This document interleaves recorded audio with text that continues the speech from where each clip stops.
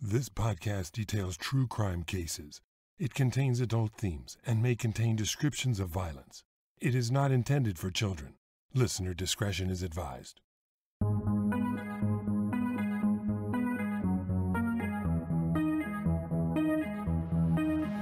Thank you for joining me for today's episode of Once Upon a Crime. This month I'm covering cases of crimes that happened on school campuses. In this episode, I'll cover a case that sparked a national debate and shone a spotlight on discrepancies in the justice system regarding the treatment and rights of survivors of sexual assault.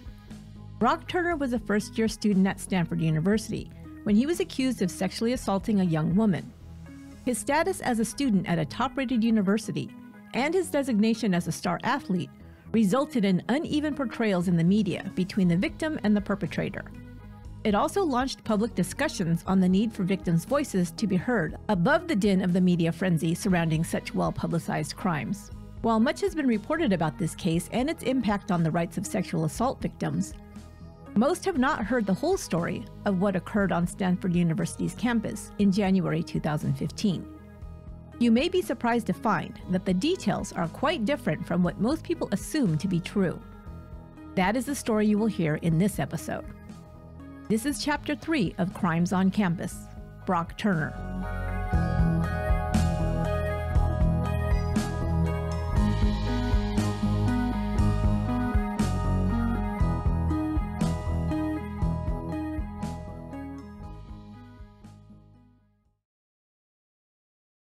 On the morning of January 28, 2015, Chanel Miller woke up to the sound of an incoming text. It was from her younger sister, Tiffany. She had sent a screenshot of a news item that was printed in the local newspaper. It appeared to be from a crime log, a summary of calls responded to by the police department and published weekly in the newspaper and online. Each item contained short descriptions of each crime or incident reported. The brief paragraph Chanel received was dated Sunday, January 18th, 10 days earlier. It read An individual was arrested and transported to the San Jose main jail for attempted rape at 1 a.m. near Lomita Court. As Chanel read the item, a stab of anxiety and dread went through her.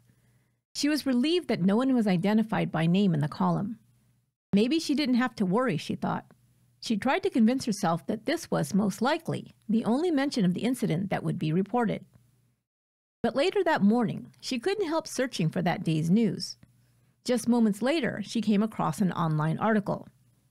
Stanford athlete accused of raping unconscious woman, the headline read. She clicked on the story, and the first thing that popped up was a photo of the accused, a young man with blonde hair who appeared to be in his late teens. In the photo, he is dressed in a suit, wearing a red tie, and smiling at the camera. Chanel studied the photo for a moment or two. She had never seen this young man before. He was a stranger to her. And yet she knew that the unconscious woman the article referred to was herself. This was the first time she had learned his name, Brock Turner. She read the accompanying article. It stated that Turner had been charged with five felony counts rape of an intoxicated person, rape of an unconscious person, sexual penetration by a foreign object of an intoxicated person, sexual penetration by a foreign object of an unconscious person, and assault with intent to commit rape. The article also stated that Turner had posted $150,000 bail and was released from jail the day he was taken into custody. Chanel now wondered if there were more details made public. So far, her name had not been mentioned, which was a relief. But she was also surprised to find that even the information she'd easily found online contained more details than she had been privy to up to this point. The truth was, Chanel's only memory of the night of January 17th and the early morning hours of January 18th was that she had attended a party on the Stanford University campus with her sister. There was a lot of alcohol being served, and she had drank quite a bit and become intoxicated. The last thing she remembered was trying to find a bathroom. Hours later, Chanel had woken up in a hospital room to find two men standing over her a Stanford University dean and a police officer. She was asked a few questions, but not provided with many details by the officer.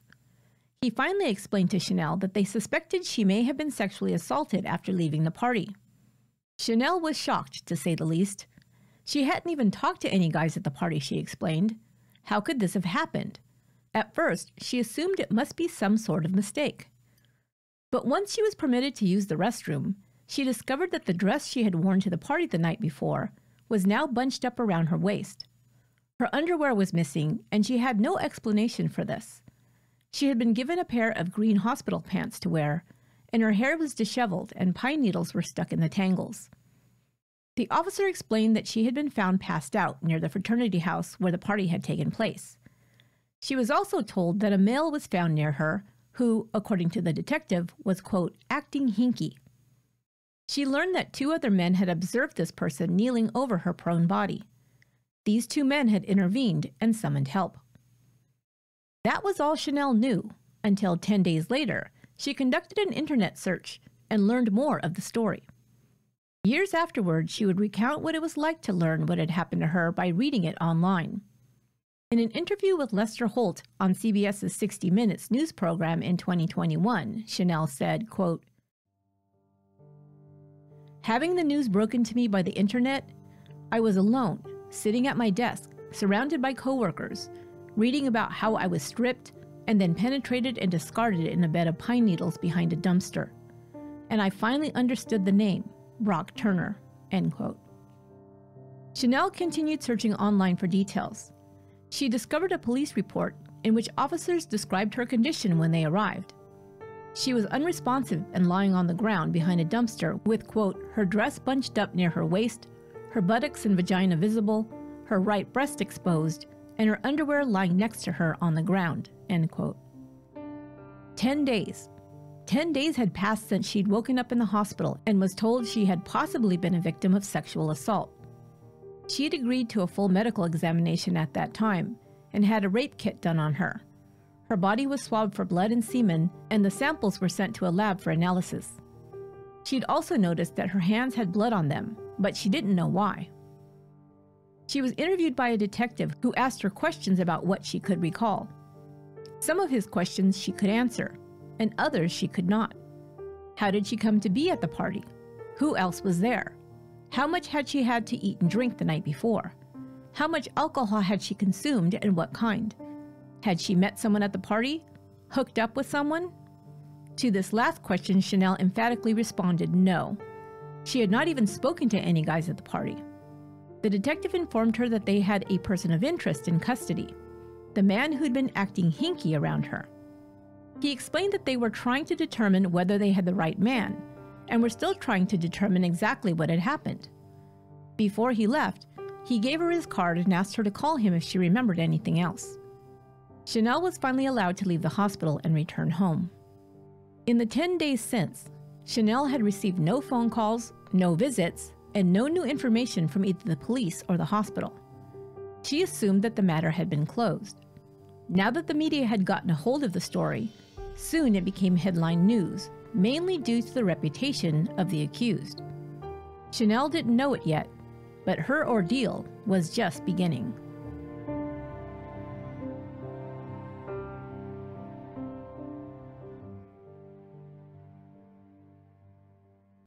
Hey there, this is Esther from Once Upon a Crime. A big thank you to all our new YouTube subscribers. If you like what you're seeing, make sure to tell a friend and share the true crime stories. Another way to support our show and keep getting Once Upon a Crime on YouTube is to buy me a coffee. Click on the link in the description box below to donate a couple of bucks to the show. Any amount is appreciated. You will have my undying gratitude. Thanks. Chanel Elizabeth Miller was born on June 12, 1992, and grew up in Palo Alto, California. Stanford University was just a stone's throw away from her home. She and her younger sister Tiffany spent time on the campus of the prestigious school during their childhood and teen years.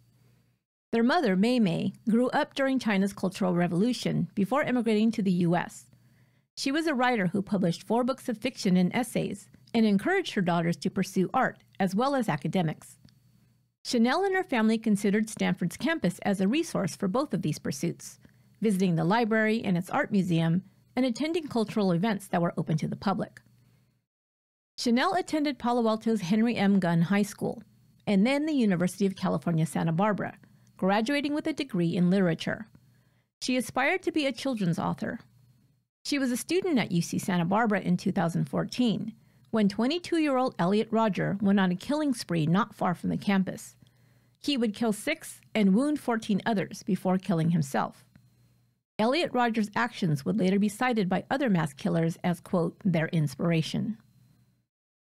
After graduating from college, Chanel returned home to Palo Alto to take a position at a small tech startup company.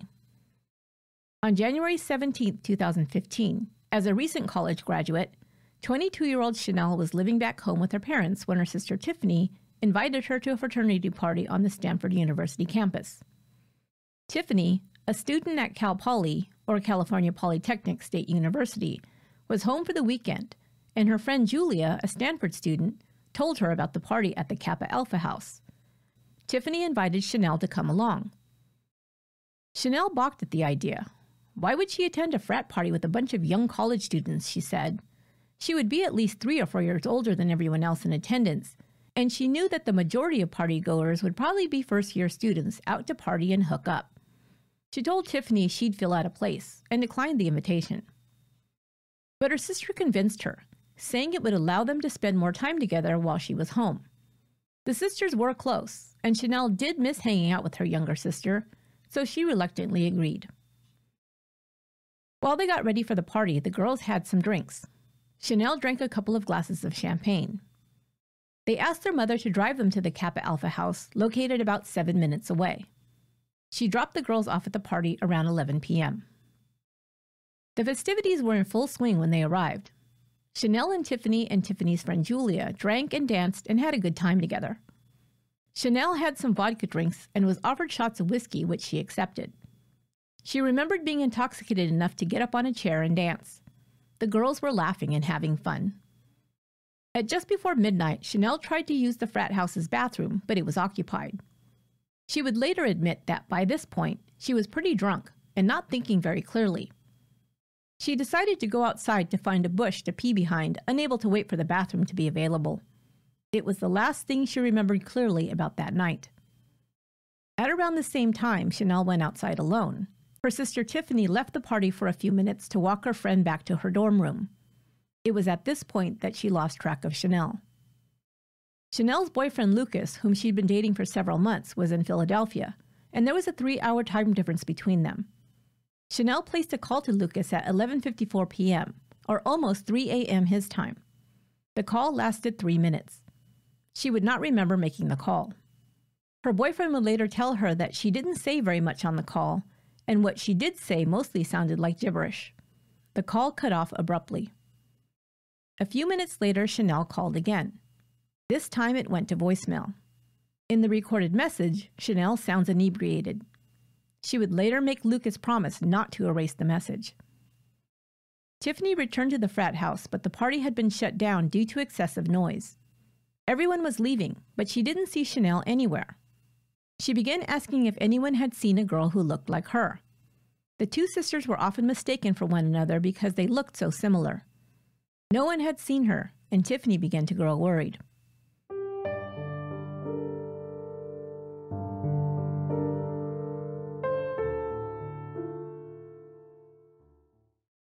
Just before 1 a.m., two Stanford graduate students from Sweden, Carl Frederick Arndt and Peter Johnson, were riding their bikes through the campus on the way to a late night party when they saw two figures near a dumpster. A petite female was lying on the ground and was not moving. The male who was kneeling above her was, quote, moving a lot, Arndt later recalled. They thought it looked strange, so they approached the male. As they did so, he turned towards them and stood up. They could see that the female wasn't moving at all. What the hell are you doing? they asked. At that moment, the blond man ran. Arndt ran after him. I didn't really have time to think, so I chased after him, Arndt later said in a television interview. I remember it quite vividly. I was on his left side and I got my right leg in front of him. I took my upper body and threw him over my leg and down on the ground. Meanwhile, Johnson stayed with Chanel, who was still unconscious. He tried to shake her and ask her if she was okay, but she didn't move or respond. Alarmed, he called for help. A deputy was dispatched to the scene and placed the blond man in his police cruiser. An ambulance was summoned, and Chanel Miller, still unresponsive, was transported to Santa Clara Valley Medical Center in San Jose. The male who'd been prevented from fleeing by the two Good Samaritans was handcuffed and read his Miranda rights. He waived them and identified himself as Brock Allen Turner, a first year Stanford student.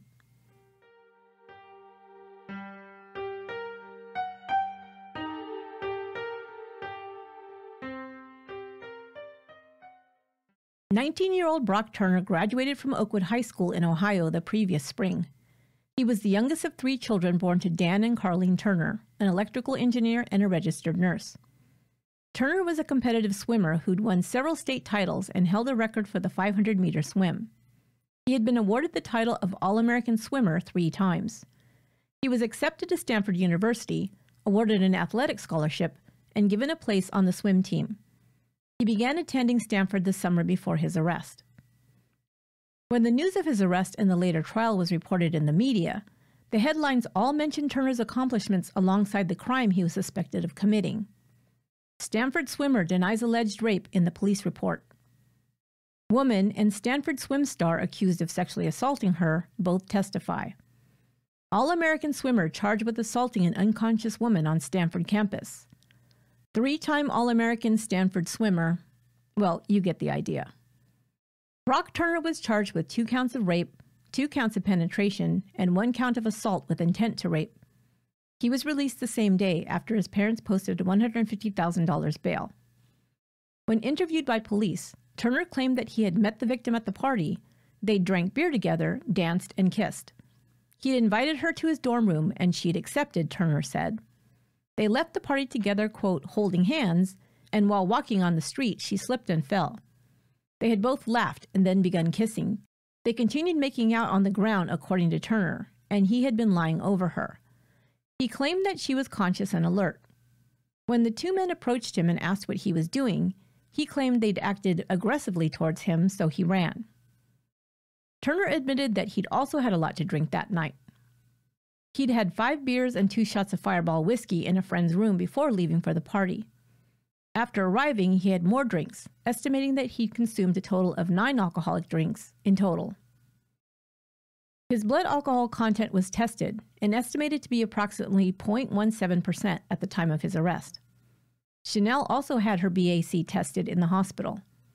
By that time, it had shown as 0.12%, but was estimated to be about 0.22% at 1 a.m. when she was admitted. An IV had been inserted after her arrival and would have diluted her blood.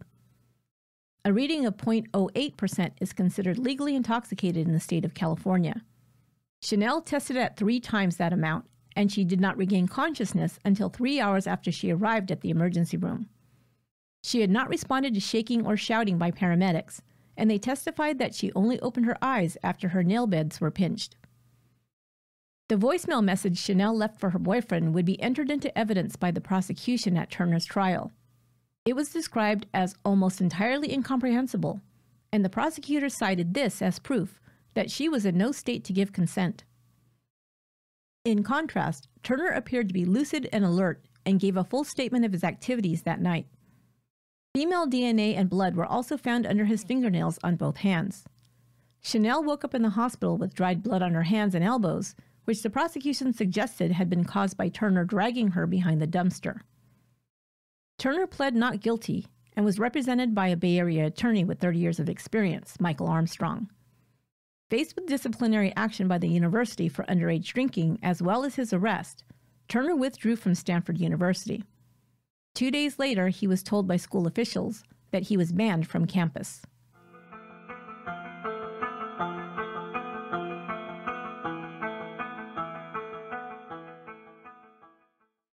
Chanel's sister Tiffany was interviewed by investigators soon after Chanel was released from the hospital. She also described the atmosphere at the party lots of drinking, etc.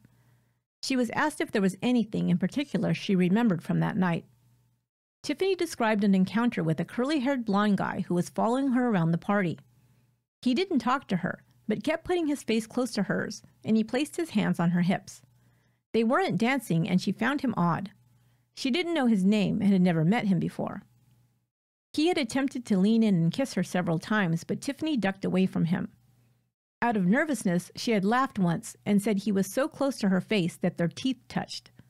Finally, she told him she had to leave and was able to get away from him. Soon afterward, she left the party to walk her friend home. She was shown a photo lineup and asked if she could identify any of the men in the pictures as the person who tried to kiss her at the party. She immediately picked out the person depicted in photo number four. Tiffany said she was sure it was him. It was a picture of Brock Turner. It was at that moment that Tiffany realized the guy who'd been coming on to her at the party was the one who'd gone after Chanel. Had he mistaken her older sister for her? Did he follow Chanel outside because she resembled the woman who blew off his advances? Was he attempting to get revenge for being rebuffed? She would never know, but she felt awful, like somehow she'd contributed to her sister's attack. Of course, she was in no way to blame, but we often feel like we should be able to protect the ones we love. As a sexual assault victim, Chanel was allowed to remain anonymous. She chose the name Emily Doe to be used in the record to keep her identity private. The trial began in March of 2016 and lasted two weeks. Turner's defense attorney would claim that the victim consented to the sexual encounter but was too drunk to remember. He also attempted to discredit every witness, including her sister Tiffany, as too intoxicated to be reliable. Chanel testified in court and broke down in tears upon explaining how she'd felt upon waking in the hospital with pine needles in her hair, dried blood on her hands and elbows, and her clothes in disarray or missing. The last thing she remembered clearly, she told the court, was drinking and dancing next to her younger sister and her friend at the Alpha Kappa party. Turner also testified and continued to claim that Chanel had given consent before passing out. He said she was still awake and alert when they began making out, and he'd only gotten up and walked away from her after telling her that he, quote, felt nauseous and needed to vomit from consuming too much alcohol. It was as he walked away to find a place to throw up that he was accosted by the graduate students and tackled to the ground, Turner said. He blamed alcohol and college life for his bad decisions, including underage drinking and drinking to excess. During Turner's time on the stand, his attorney took him through his history of academic and athletic accomplishments. He painted his client as a naive first year college student who was an inexperienced drinker. Turner claimed that he'd felt pressured to fit in with his new friends and swim team buddies and simply overindulged, but had not attempted to rape anyone. The district attorney, however, had discovered more information about Turner's behavior before and leading up to his arrest. Text messages pulled from his cell phone records exposed him as a young man who'd had plenty of experience, not only with alcohol, but drugs as well. In July 2014, while still in high school, Turner texted a friend about doing acid and expressed an interest in, quote, candy flipping, a slang term for taking LSD and ecstasy together. Other text messages recorded Turner attempting to score highly concentrated forms of marijuana. Do you think I could buy some wax so we can do some dabs? He texted a friend. The prosecution also provided information at trial regarding his prior arrest record. In 2014, Turner was arrested for possession of alcohol while under the legal drinking age. He and some of his teammates were chased by police after being found drinking beer on campus. Another witness came forward and reported that Turner had attended another Kappa Alpha party just a week before the assault. This young woman testified that Turner, quote, creeped her out and was grabby with her. He came up to her as she was dancing and began placing his hands on her waist, stomach, and thigh. She hadn't invited him to dance with her, and had not sought out his attention, she reported. He made her so uncomfortable she'd left the dance floor to get away from him.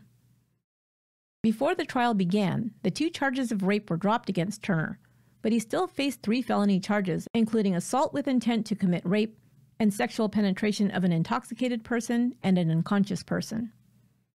After a two week trial, the jury found him guilty of three counts of sexual assault.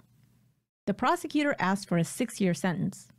Turner's attorney urged the judge to sentence his client to a maximum of four months in jail, saying, quote, the fact remains that no one can pinpoint exactly when the victim went from being conscious to unconscious, end quote. He also said that Turner was a fundamentally good young man from a good family, with a record of real accomplishments, who made bad choices during his four months at Stanford, especially related to alcohol, and the 20 minutes or so during the night of January 17th and 18th, when he committed these serious crimes. End quote. While Turner waited for his sentence to be handed down, several friends and family members sent letters to the judge or made statements to the press. Almost all of them blamed alcohol for Turner's actions, saying that he was too intoxicated to make a conscious determination whether the young woman he was with gave consent or not. Turner's father reacted to the prosecution's request for a six year prison term in a letter to the court, stating that the sentence was, quote, a steep price to pay for 20 minutes of action out of his 20 plus years of life, end quote. The phrase 20 minutes of action sparked outrage from sexual assault survivors and those who advocated for victims' rights, as well as the public in general. But other members of the public blamed the victim for her attack. Why was a 22 year old at a frat party? They asked. Why did she drink so much? Some even faulted Chanel for wearing a dress. Why was she wearing a dress in January? One online commenter wrote. On June 2, 2016, Chanel Miller read an impact statement in court. The 7,000 word plus statement read by Emily Doe was described as a quote, cri de coeur against the role of privilege in the trial and the way the legal system deals with sexual assault, unquote. This was printed in the New York Times. She read her statement out loud. Quote, you took away my worth, my privacy, my energy, my time, my safety, my intimacy, my confidence, my own voice, until today, she read to the defendant in court. To the judge, she said, the fact that Brock was a star athlete at a prestigious university should not be seen as an entitlement to leniency, but as an opportunity to send a strong cultural message that sexual assault is against the law regardless of social class. End quote. Her statement was later released by Santa Clara County and picked up and shared in national and international publications, including The Washington Post, Time magazine, and the UK's The Guardian. It went viral, shared over 11 million times in four days. Then Vice President Joe Biden wrote an open letter to Emily Doe stating, quote, I am filled with furious anger both that this happened to you and that our culture is still so broken that you were ever put in the position of defending your own worth. End quote. Even so, on the same day Chanel's powerful statement was made in court, Judge Aaron Persky sentenced Brock Turner to just six months in jail. He defended his decision by stating that a harsher sentence would have, quote, a severe impact on Turner's life. After serving just three months in jail, Turner was released on September 2, 2016, after earning time off his sentence for good behavior. He was required to serve three years of probation and register as a sex offender for the rest of his life.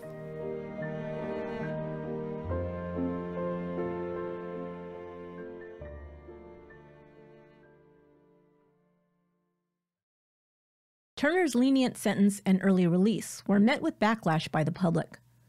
Two weeks after Persky handed down the sentence, California Assembly Bill AB 2888, written by District Attorney Jeff Rosen, was introduced and would later be unanimously approved by the California legislature. The bill would provide for a mandatory minimum three year prison sentence for sexual assault of an unconscious or intoxicated person. An online petition demanding that Judge Persky be removed from the bench amassed over a million signatures within a week of Turner's sentencing a committee to recall Judge Persky was formed. A fierce debate began between those who supported the judge and those who wanted him ousted. By January of 2018, enough signatures had been verified to place a recall vote of the judge on the midterm election ballot. It was voted on in June of 2018. Nearly 200,000 Santa Clara County voters cast ballots. 65% voted to recall the judge, with just 38% voting no. Aaron Persky was the first judge to be recalled by voters in California in over 80 years. In an interview he gave to the press, Persky stated that he had no regrets about the sentence he handed down for Brock Turner and said he would rule the same if asked again. In 2019, Aaron Persky accepted a position of tennis coach at a Silicon Valley high school. A short time later, an online petition circulated calling for his removal as JV tennis coach at Lynbrook High School in San Jose. The school district fired him the next day, with the superintendent of schools citing the need to, quote, protect the players from the potentially intrusive media attention, end quote.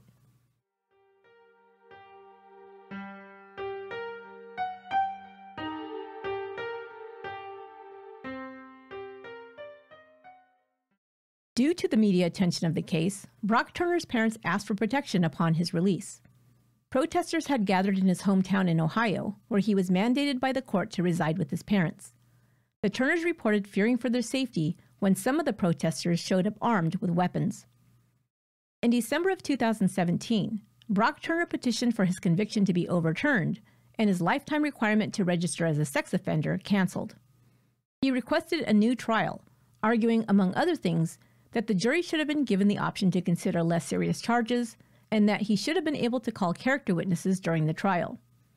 It was also reported that Turner attempted to argue that he had intended to engage, quote, in outer course, not intercourse, with his victim. He lost his appeal. A former Olympic swim team hopeful, Brock Turner was permanently banned from ever stepping foot on Stanford University's campus and also received a lifetime ban from competing in the Olympics. As of January of 2022, Turner reportedly was living with his parents in Ohio and working as a shipping and receiving clerk, earning $12 per hour.